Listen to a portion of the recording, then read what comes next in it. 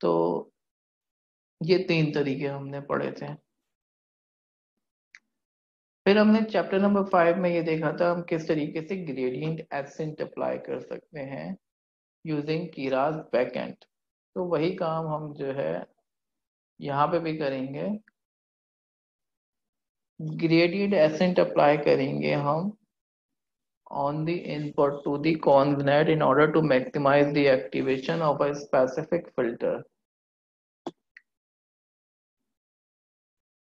तो हमने chapter number five में जब किसी स्पेसिफिक फ़िल्टर को विजुअलाइज करना था तो वहाँ पर हम ग्रेडियंट एसेंट अप्लाई कर रहे थे किसी स्पेसिफिक फ़िल्टर के एक्टिवेशन को मैक्सिमाइज करने के लिए। यहाँ पर हमने किसी एक फ़िल्टर के एक्टिवेशन को मैक्सिमाइज नहीं करना, बल्कि तमाम फिल्टर्स के एक्टिवेशन को मैक्सिमाइज करना है। ठीक है जी? तो डीप ड्रीम यही आइडिया लेता है, लेकिन विथ स्लाइड डिफरेंस वो डिफरेंस क्या है? You try to maximise the activation of entire layers तमाम लेयर्स की एक्टिवेशन को मैक्सिमाइज करना है rather than that of a specific filter किसी एक फ़िल्टर के बजाय तमाम फिल्टर्स के एक्टिवेशन को मैक्सिमाइज करना है।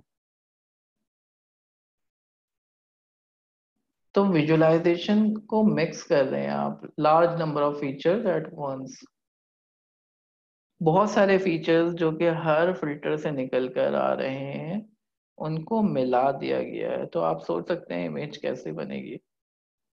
ठीक है? तो वो बिल्कुल जो है डीप ड्रीम इस वजह से कह रहे हैं उसको कि इमेज ही इस तरीके की बन रही है। ठीक है?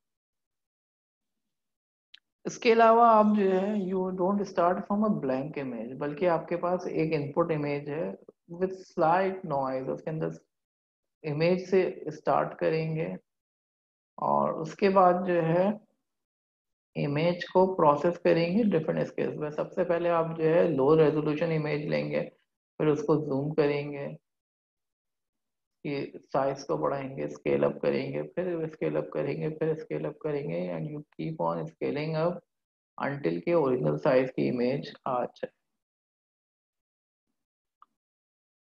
तो you will start from a convnet pretrained on ImageNet तो आपको एक कॉन्वोल्यूशनल न्यूरल नेटवर्क चाहिए, जहाँ से आप स्टार्ट करोगे। कीरास के अंदर बहुत सारे कॉन्वोल्यूशनल न्यूरल नेटवर्क अवेलेबल हैं। किसी कॉन्वोल्यूशनल न्यूरल नेटवर्क को स्टार्ट करोगे, उसके ऊपर जो है, उसके फिल्टर्स को लोगे उसके फिल्टर्स को लेने के बाद आप बोलोगे कि इन फिल्टर्स का एक्टिवेशन मैक्सिमम कब होता है, किस इनपुट पे वो इनपुट मालूम करो यूजिंग ग्रेडियंट एसेंट तो ये काम हमने करना है तो हमें इसके लिए कॉन्वोल्यूशनल न्यूरल नेटवर्क चाहिए। तो हम स्टार्ट करेंगे वीजीजी 16 से वीजीजी 19 से एक्सेप्शन से रेसनेट से इंसेप्शन से, मुख्तलिफ़ तरह के कॉन्वोल्यूशनल न्यूरल नेटवर्क मौजूद हैं। किसी को भी लेकर आप स्टार्ट कर सकते हैं। ठीक है? तो different convolutional neural network architecture है, उनमें से आप कोई से भी इस्तेमाल कर सकते हो। तो पहला स्टेप जो है, हमारे पास, मेरा ख्याल है मैं अच्छा चले इसी पे ही हम देख लेते हैं, वरना जो है हम नोटबुक पे भी देख सकते थे, उस पर भी दिखाता हूँ मैं आपको। तो सबसे पहले आपने इंसेप्शन का मॉडल लोड किया। इमेज नेट के वेट्स हैं इंसेप्शन इमेज नेट ये डेटा पे ट्रेन हुआ हुआ है तो कौन से वेट्स हैं? उसको उठा लिया हमने, ठीक है? और हमने जो है उसका डेंस लेयर नहीं उठाई तो टॉप को फॉल्स रखा। अगले स्टेप पे हमने क्या किया? अब हमें जो है लॉस मालूम करना है। ठीक है? जिस लॉस को हमने जो है ग्रेडियंट एसेंट से मैक्सिमाइज करना है। मैक्सिमाइज करना है, यहाँ पे ग्रेडियंट एसेंट है। ठीक है? किस चीज़ को मैक्सिमाइज करना है हमने? क्या चीज़ मैक्सिमाइज करनी है हमने? जितने भी लेयर्स हैं, हर लेयर्स के फिल्टर्स के आउटपुट को या एक्टिवेशन को मैक्सिमाइज करना है। तो हमारा लॉस यहाँ पे क्या है? हर फ़िल्टर का आउटपुट या हर फ़िल्टर का एक्टिवेशन जिसको कहा जाता है, उसको मैक्सिमाइज करना है। अब यहाँ पर एक फ़िल्टर तो है नहीं, कई फिल्टर्स हैं। तो हमें सबको सम करना पड़ेगा। सिंपल सम भी कर सकते हैं, यहाँ पर हमने वेटेड सम किया है। हम वेटेड सम करेंगे और उसका एल टू नॉर्म लेंगे। ठीक है? अब हम हर लेयर को लेने के बजाय कुछ सैंपल लेयर्स ले रहे हैं यहाँ पे। हायर लेयर्स ले रहे हैं। हायर लेयर्स के ऊपर काम किया जाएगा। लोअर लेयर्स जो है जो भी लेयर आप सिलेक्ट करेंगे, उससे जो है पैटर्न थोड़ा सा डिफरेंट आएगा। लोअर लेयर जो है ज्योमेट्रिक पैटर्न देगा। हायर लेयर जो है, वो इस तरह के पैटर्न देगा, कम से कम आप क्लासेस को रिकग्नाइज करने के काबिल हो गए। तो हमने हायर लेयर्स को लिया। अब हमने चार लेयर्स को लिया, जो कि आपके कॉन्वोल्यूशनल न्यूरल नेटवर्क में मौजूद है। Mix two mix three mix four mix five ये चार लेयर्स हैं जो कि आपके कॉन्वोल्यूशनल न्यूरल नेटवर्क जो इंसेप्शन है इंसेप्शन के लेयर्स के नाम है ये। ठीक है? अब चार लेयर को हमने कंबाइन करना है इनके लॉस को। चार लेयर है, इनके लॉस को हमने कंबाइन करना है। इनको ऐड करेंगे, हम सिंपल ऐड भी कर सकते थे, लेकिन यहाँ पर हम वेटेड सम ले रहे हैं तो हर किसी को अलग अलग वेट्स दे दिए, किसी को पॉइंट टू किसी को थ्री पॉइंट ज़ीरो किसी को टू पॉइंट ज़ीरो किसी को वन पॉइंट फाइव तो अलग अलग हमने वेट्स दे दिए ठीक है? अब यहाँ पर हमने लॉस कैलकुलेट किया।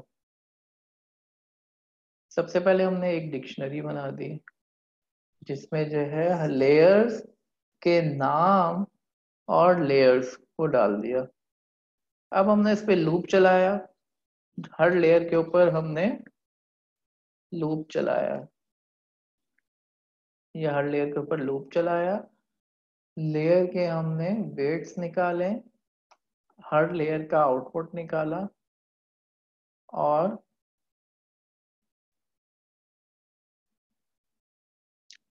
उस लेयर के आउटपुट को हमने क्या करा? मल्टीप्लाई करा उसके वेट से और ऐड कर दिया। तो लॉस की एक सिंगल वैल्यू निकल के आ गई। एक सिंगल वैल्यू लॉस की आ गई जो कि हमें चाहिए। ठीक है जी। अच्छा हमने यहाँ पे कीरास की बैकएंड को इस्तेमाल किया है। तो ये जो कैलकुलेशन है ना, ये कैलकुलेशन अभी ये एग्जीक्यूशन नहीं हो रही है अभी इसकी। ये सारी चीज़ें जो है ग्राफ की फॉर्म में बन रही हैं अभी।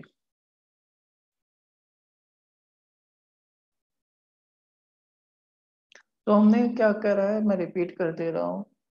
लॉस का एक वेरिएबल बनाया हमने और लॉस कैलकुलेट किया। हर लेयर के आउटपुट को मल्टीप्लाई करना है हमने, उसके वेट से और फिर लॉस में ऐड कर देना है। तो ये लूप चल रहा है। पहली लेयर का लॉस आएगा, वो इस लॉस वेरिएबल के अंदर ऐड हो जाएगा। दूसरी लेयर का लॉस आएगा, इस वेरिएबल में ऐड हो जाएगा। तीसरी लेयर का लॉस आएगा, इस वेरिएबल में ऐड हो जाएगा। तीसरी लेयर का आउटपुट पहली लेयर का आउटपुट दूसरी लेयर का आउटपुट सारे लूप लगने के बाद हमने चार लेयर्स लिए ना? ये चार लेयर्स लिए पीछे। Mix two mix three mix four mix five इन चारों के आउटपुट को हमने ऐड कर दिया तो ये लॉस आएगा। अच्छा ये एक्चुअल एग्जीक्यूशन इसकी अभी हो नहीं रही है, बल्कि ये पूरा एक ग्राफ बन रहा है। जैसे कि मैंने बताया, कीरास के बैकएंड को इस्तेमाल करते हुए ये फ़ायदा होता है, जब आप ग्रेडियंट एसेंट अप्लाई करोगे तो ये सारी चीज़ें चलेंगी। अभी सारी चीज़ें बन रही हैं, ठीक है? प्लान हो रही हैं डिज़ाइन हो रही हैं। एग्जीक्यूशन कब होती है? जब आप ग्रेडियंट एसेंट चलाना शुरू करोगे। अच्छा है यहाँ पे हमने स्केलिंग फैक्टर से डिवाइड भी किया है स्केल भी किया है। ये रिसर्च पेपर ऑब्वियसली रिसर्च से सामने आई है चीज़ें तो हमने इसको स्केल भी किया है। फिर हमने बोला लॉस हमारे पास आ गया, ठीक है? लॉस क्या है? यहाँ पर लॉस हर लेयर का आउटपुट है, उनको ऐड कर लिया है। लेकिन ऐड हमने वेटेड फॉर्म में किया है वेटेड ऐड किया है, यानी इसको मल्टीप्लाई किया है किसी फैक्टर से। हर किसी को बराबर वेट नहीं दिया, किसी को कम वेट दिया है, किसी को ज़्यादा दिया है। अब हमने जो है डेरिवेटिव निकालना होगा। ग्रेडियंट डिसेंट या ग्रेडियंट एसेंट जो है, दोनों में हमें डेरिवेटिव निकालना होता है। डेरिवेटिव की मदद से हम जो है फ़ंक्शन को मैक्सिमाइज करते हैं या मिनिमाइज करते हैं। सही है। तो डेरिवेटिव निकालने के लिए दो चीज़ें हमें पता होनी चाहिए। एक, किसका डेरिवेटिव निकालना है? दूसरा, किसके हिसाब से निकालना है? तो डेरिवेटिव किसका निकल रहा है? लॉस का निकल रहा है।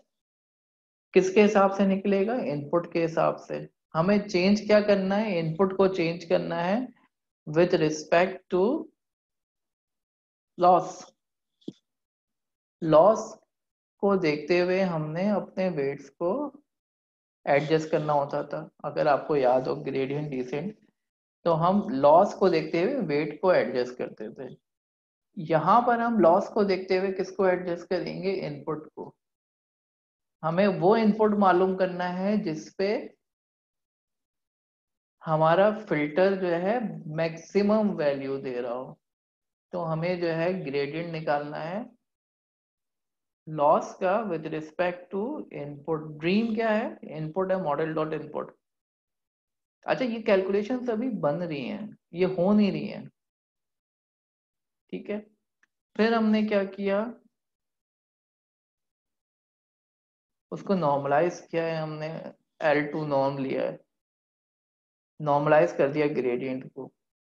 और हमने ये कोशिश की कि ये ज़ीरो ना हो तो इस वजह से हमने ten raise to power minus seven जो है, अगर ज़ीरो हो रहा है तो ten raise to power minus seven को पिक कर लेंगे।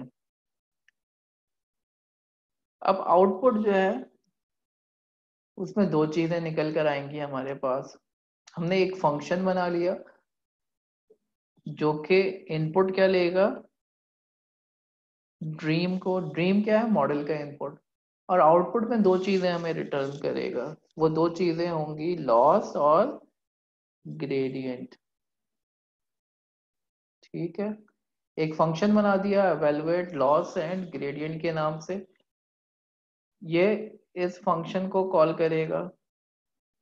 फैच लॉस एंड ग्रेडियंट को इनपुट कुछ भी देगा इमेज को इनपुट देगा और दो चीज़ें निकाल के देगा लॉस वैल्यू और ग्रेडियंट वैल्यू तो हमें करना क्या है? समराइज करूँ ये मुख्तसर? वैसे तो ये कोड आपने याद नहीं करना है। कोड आपको समझ में आना चाहिए बस।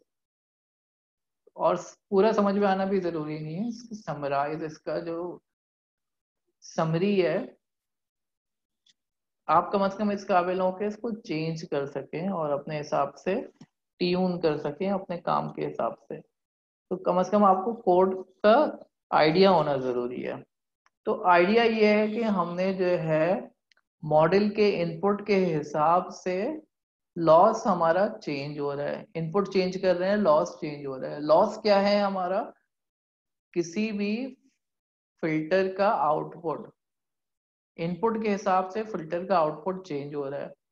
तो हमने क्या करना है? ग्रेडियंट एसेंट अप्लाई करना है, जिसमें डेरिवेटिव निकालेंगे हम। किसका? लॉस का डेरिवेटिव निकालेंगे इनपुट के हिसाब से। अब वो जो भी डेरिवेटिव आएगा, उसके हिसाब से हमने इनपुट को मॉडिफाई करना होगा। जैसे हम ग्रेडियंट डिसेंट में करते थे कि हम जो है मॉडल के लॉस को हम वेट के हिसाब से एडजस्ट करते थे। लॉस का जो है डेरिवेटिव निकालते थे और हम बोलते थे कि डेरिवेटिव ये आया डेरिवेटिव माइनस कर देते थे हम वेट में से। तो यहाँ पे यही काम कर रहे हैं। ग्रेडियंट एसेंट के अंदर हमने लूप चलाया, कई आइट्रेशन चल रही है। अवेलवेट लॉस एंड ग्रेडियंट एक फ़ंक्शन है, जो कि लॉस और ग्रेडियंट रिटर्न कर रहा है। और अगर लॉस मैक्सिमम से बड़ा हो रहा है तो हमने रुक जाना है। लॉस बढ़ना शुरू हो जाएगा रुक जाना है। वरना क्या करना है? अब क्योंकि यहाँ पर हम ग्रेडियंट एसेंट कर रहे हैं एसेंट का मतलब है कि हम लॉस को बढ़ाना है हमने। जबकि ग्रेडियंट डिसेंट में लॉस को कम करना होता था। तो ग्रेडियंट डिसेंट में हम नीचे की तरफ़ आते थे। ग्रेडियंट एसेंट में हमें ऊपर की तरफ़ जाना है। तो जो भी डेरिवेटिव आएगा, हमने उसको प्लस करना है एक्स में। एक्स हमारा इनपुट है। और स्टेप जो है, ये लर्निंग रेट है। लर्निंग रेट से मल्टीप्लाई करके। ठीक है जी। अब आते हैं हम अगले स्टेप के ऊपर। ये सारी चीज़ें हमने फ़ंक्शंस बनाई हैं अभी। अब ग्रेडियंट डिसेंट अप्लाई करना शुरू करेंगे हम। लर्निंग रेट हमने सेट कर दिया। ये हाइपर पैरामीटर है। और एक चीज़ और हमने करनी है। हमने जो है ग्रेडियंट डिसेंट एक स्पेसिफिक साइज़ की इमेज पे अप्लाई करना है। फिर अगले स्टेप में इमेज का साइज़ बढ़ाना है। फिर दोबारा ग्रेडियंट डिसेंट लगाना है। मुख्तलिफ़ साइज़ पे ग्रेडियंट आहिस्ता आहिस्ता इमेज का साइज़ बढ़ाते जाना है। तो ये ऑक्टेव बता रहा है ऑक्टेव स्केल और नंबर ऑफ़ ऑक्टेव से हमें पता चल रहा है कि किस किस साइज़ के ऊपर इमेज को प्रोसेस करना है। बेस इमेज पाथ हमने दे दिया। इमेज को प्री प्रोसेस किया हमने। ठीक है प्री प्रोसेस करने का मतलब है कि इमेज को रेंज में उसके पिक्सल वैल्यूज़ को लेकर आना है इमेज को नॉर्मलाइज करना है, मुख्तलिफ़ तरह की चीज़ें करनी है। फिर हमने लूप लगा के मालूम किया कि किस किस साइज़ पे इमेज को प्रोसेस करेंगे। डिवाइड कर रहे हैं हम। जो भी स्केल फैक्टर लिया आपने, अगर टू लिया होता तो पहली दफ़ा जो है इमेज पूरे साइज़ की होगी। उसके बाद आधे साइज़ की। उसके बाद एक चौथाई साइज़ की, यानी टू की पावर से कर रहे होगे, जो भी पावर है टू की पावर ले सकते हो। यहाँ पर इन्होंने 1.4 लिया है। अगर टू लेते तो आधी, फिर आधी की आधी, फिर आधी की आधी की आधी। यानी half one fourth one eight one sixteen इस तरीके से हो रहा होता। ठीक है? और फिर हमने इसको रिवर्स कर दिया। हम छोटे से बड़े की तरफ़ जाएँगे। कैलकुलेशन तो हमने कर है तो हमने बोला कि पहले फुल साइज़ की इमेज फिर आधी फिर आधी की आधी, फिर आधी की आधी की आधी। लेकिन हम स्टार्ट करेंगे आधी की आधी की आधी से, फिर आधी की आधी, फिर आधी इमेज और फिर फुल इमेज तो इस वजह से हमने यहाँ पे इसको स्लाइसिंग के थ्रू रिवर्स कर दिया। हम सबसे छोटे साइज़ से स्टार्ट करेंगे। उस पर ग्रेडियंट डिसेंट अप्लाई किया हमने। ग्रेडियंट डिसेंट अप्लाई करने के बाद जो इमेज आई हमारे पास, वो हमने सेव कर दी। फिर अगले स्टेप में साइज़ बढ़ा। सक्सेसिव शेप्स के अंदर हमने साइज़ रखा है। फिर साइज़ बढ़ाया, फिर दोबारा ग्रेडियंट डिसेंट अप्लाई किया, फिर साइज़ बढ़ाया, फिर ग्रेडियंट डिसेंट अप्लाई किया, ये प्रोसेस रिपीट करते गए और हमने इसके बाद इमेज को सेव करा लिया। ठीक है जी। तो इसको चला के देखते हैं हम।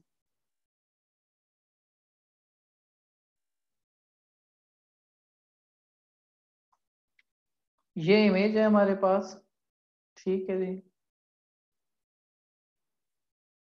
कोई सी भी इमेज ले लेते हैं। ये मैंने नेट से डाउनलोड कर लिया। है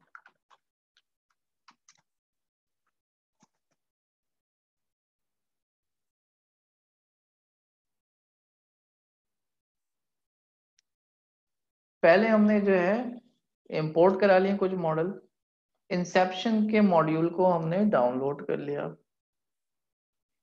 ये अच्छा इसकी अगर समरी देखें हम मॉडल की समरी देखें। मॉडल डॉट समरी तो इसके अंदर देखें, आपको जो है मुख्तलिफ़ लेयर्स के नाम मिल रहे होंगे। ठीक है, इसमें से हमें कौन कौन सी चाहिए layers mix two mix three ये आखिर की लेयर्स हैं। मिक्स थ्री आ गया। मुख्तलिफ़ लेयर्स हैं, ठीक है?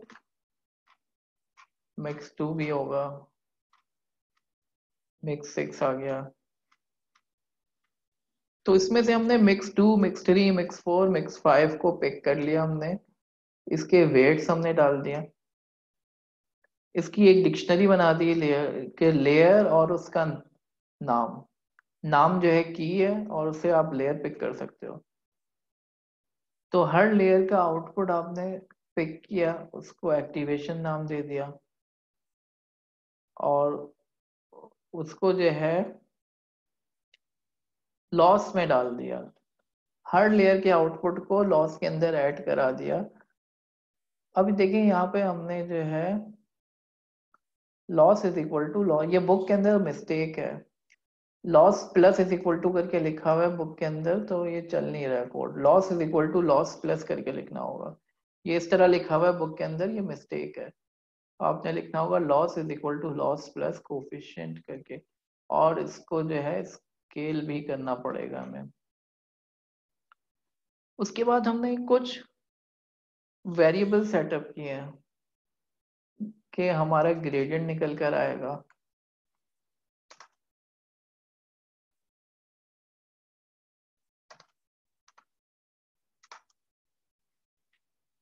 मॉडल के इनपुट के हिसाब से डेरिवेटिव निकल कर आएगा।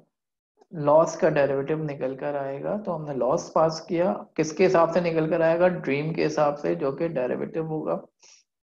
उसको नॉर्मलाइज कर दिया हमने।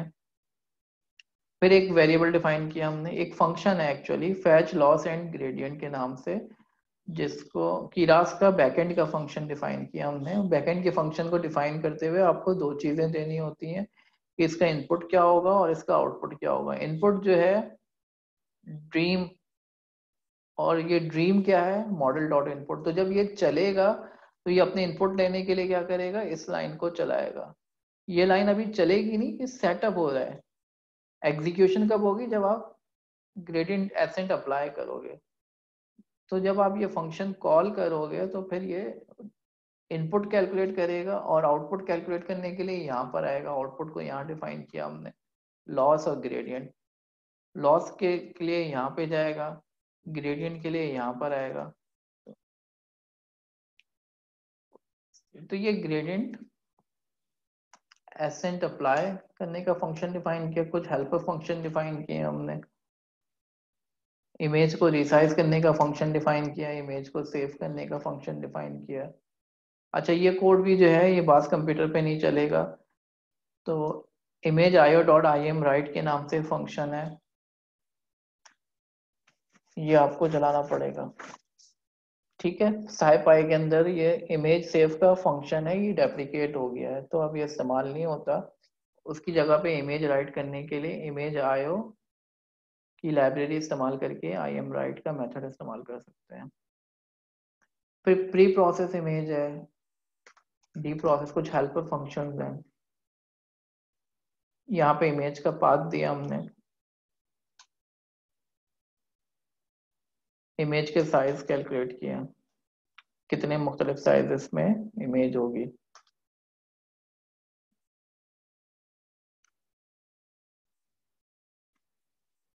ये प्रोसेस हो रही है इमेज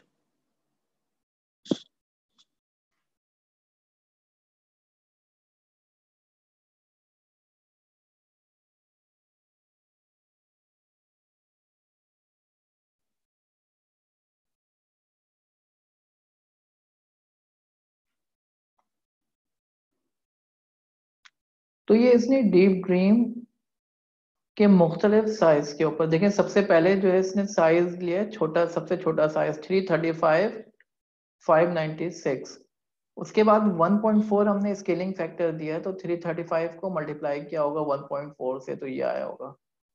तो उस साइज़ में तो पहले इमेज ये बनी, फिर बड़े साइज़ में इमेज आई। ये बनी इमेज फिर ये फाइनल इमेज बनी है। ठीक है जी। ये फाइनल इमेज बनी है तो आप देख सकते हैं कि किस तरह की इमेज बनी है। तो डेट इज़ ड्रीम ड्रीम इसमें बहुत सारी चीज़ें होंगी आई नो के जिसमें आपके क्वेश्चन होंगे। ठीक है तो आप पूछ भी सकते हैं, जहाँ तक के मैं आंसर दे सकूँगा, दूँगा। लेकिन बहुत सारी चीज़ें ऐसी हैं जो कि ये किसी रिसर्च पेपर की इम्प्लीमेंटेशन है। रिसर्च पेपर की या रिसर्च आइडिया की इम्प्लीमेंटेशन है। तो बहुत सारी चीज़ें ऐसी हैं जिसकी एक्सप्लेनेशन के लिए आपको फर्दर रिसर्च करनी पड़ेगी।